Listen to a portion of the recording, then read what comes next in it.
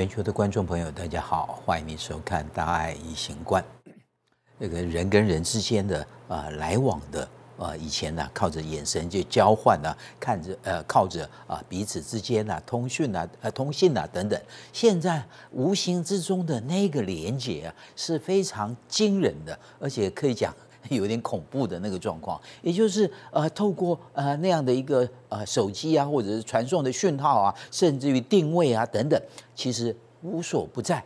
意思就是说，呃，人家能掌握你行踪的能力是比以前强太多太多了。所以为什么呃这个呃电影里面呢啊这个神出鬼没的呃他就不用网络，他就没有呃这个呃这呃。呃，我们一般所常用的社社群的那个网络的那个使用，而且因为现在根本你你到哪里，而且这个人跟人之间、人跟地点之间、人跟物之间的连接，肯定是会越来越强的那个状况啊啊！不过看到这样的一个人潮啊啊，就会想到传染的这个呃得到感冒啊，或者是其他传染病的机会比较大，因为也有跟可能咳嗽啊，他一咳嗽的时候，大家可以看得到，可以。播出来，呃，这个散播出来的一个微粒啊，啊，大概是多少？三千颗微粒，三千颗微粒，一个咳嗽三千颗，那它的一个时速是多少？可以到达大概八十公里啊。八十公里，所以它可以散播的还有一点距离哦，然后又那样密集的，所以如果在它旁边的时候，呃，得到呃这样传染，他可能自己也不知道自己生病了。如果自己知道身体不舒服，戴上口罩，这当然避免传染给别人的机会是效果最好的。但是防御性的，我们多戴口罩，在那个人群很多的地方的时候，那当然也有它的一个帮忙啊。好，这是咳嗽的情形啊，那有比这个更厉害的。我们人体的也也很自然的一个反应，很厉害的。这个反应出来的微粒数会远大于这个。你想一下是什么样的？我们生理常见的一个机转，也是感冒呃感冒生病的时候也会出现的一个状况啊。待会跟大家来报告，人群多啊，确实感染。呃，传染传染病的一个机会会比较大一点，所以到公园走走恐怕是蛮好的一件事情啊！啊，在公园里面啊，可以看到鸟语花香，可以在悠闲的那样的一个呃环境中，哎，自己的副交感神经也会跟着呃，把交感神经的那个过度兴奋给它压抑下来。我们在这个呃现在这样子惶惶不安的一个社会里面啊，过多的一个讯息啊啊造成的一个不安，对峙的方法之一啊，可能也是多走入这样的一个空间啊。这是呃爱德华维亚尔这位法国的一个画家他画的，他的这个特点呢，您看一下这样的公园的情形啊，再看看他，你看看他。呃，画家里的情形一样啊，家里的情形一样，似乎都是像海军陆战队一样那种迷彩装，嘿他跟那个背景融在一起的那种感觉，尤其在这里，你看得到，这是他姐姐啊，跟他这个呃墙壁啊啊那样的一个呃颜色，似乎很能够融合在一起，因为他妈妈就是一个呃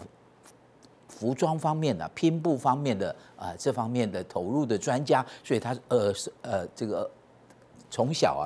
耳濡目染的一个状况之下，画作中也出现出这样的一个啊，用这样的很细微的一个地方啊，去跟主体做一些啊呼应的一个状况。那呃，如果要说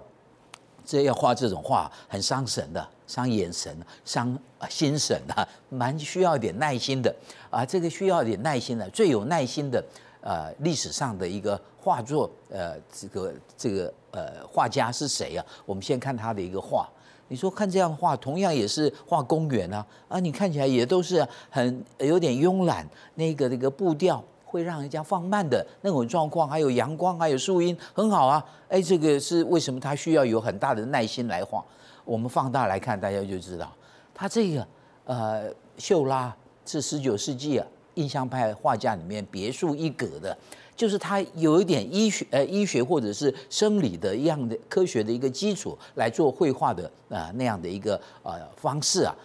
点描法呃如果大家呃我们稍微呃放大给大家看，你看那个局部都是一点一点的那样的呃合在一起，而且它点描的状况事实上是呃有它科学背背景，意思就是说我们事实上视网膜里面就三个。颜色而已，可是就组合起来，这样千变万化的颜色，它也是用这几个颜色把它点描出来以后，呃，整个的一个形象啊，会呃显示出来。大丸岛的星期天下午的一个场景啊，塞纳河畔，哇，你可以看到这幅画很大。那画画这么这么呃这么大的一幅画，用这样点的一个方式，你要点到什么时候啊？而且那个点一点，你会自己点头也会花掉，所以还要退后再来看一看，到底对不对？哦，所以这个秀拉确实是啊，不单是眼睛啊啊，这个显然了很厉害。那而且那一份的一个耐心呐，恐怕呃是是所有人都不可能有这样，所以他的一个画作数量肯定是很少的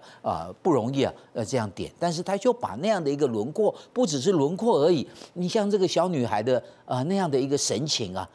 哎，呃，似乎你可以感得到公园里面的那个气氛啊，从那样的一个呃轮廓中，呃，欢乐的呃这个形影中，哎，把整个的一个公园呢，让大家感受的更加深刻。所以你看看这个点点点点出，不只是那个形状出来，更点出那个神情出来，非常不容易啊。他的另外一幅画也是用这样的点描的一个方式啊，画的是靠诺曼底北方的一个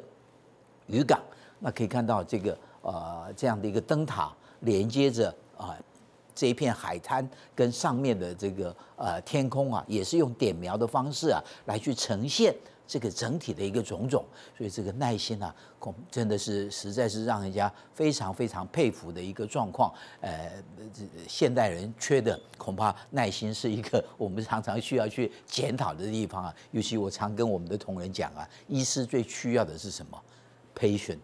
Patience，patience，patient 是病人，那 patience 就是耐心啊。你要像病人一样，我们有那份耐心，跟病人做互动沟通的时候，病人他自然就能了解我们到底是要做什么样的前行。因为整个医疗的一个过程里面，绝对是要互相手牵着手，心连着心啊，这个达到的效果才会好。一个七十岁的一个男性病人，呃，这个住院的治疗，医师费尽心思啊。哎，可是怎么让他了解，费尽心思背后需要的是什么？就要有耐心啊，好好跟他说明啊。他出现的状况就是会喘啊，走没几步就会喘，哎，脚也会水肿，心脏衰竭，所以给他做